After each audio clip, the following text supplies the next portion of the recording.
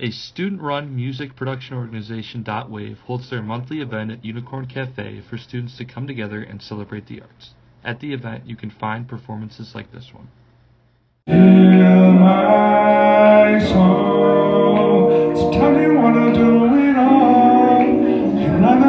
All. And fall.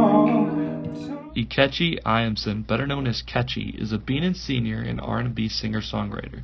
Ketchy is well known around the Northwestern community as he is featured in many different performances on campus. I'm performing at a scholarship ball hosted by the sorority Delta Sigma Theta tonight at 7 at Guild Lounge. The nerves still manage to get to him since it's only his second performance ever at Unicorn Cafe.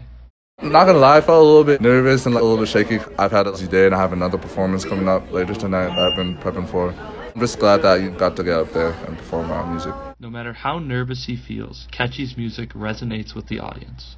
It was interesting. Some of them were, were like, engaged, like especially with the second song. It's more a beat song and like usually more like audience like participation. I thought he was great. I really love R&B and like neo soul music, so I thought he had a really pleasant voice, and yeah, it was great. I thought he did a good job.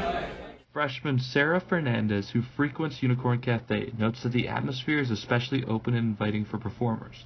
Unicorn Cafe owner Jessica Donnelly says it best when she says, Make a new friend. Isn't it all about coffee and community? Yes, it is. This is Andy Paden reporting for Medill. And I'm trying to do my thing, and one day I hear that ring, said it's time to spread my wings and fly, and fly.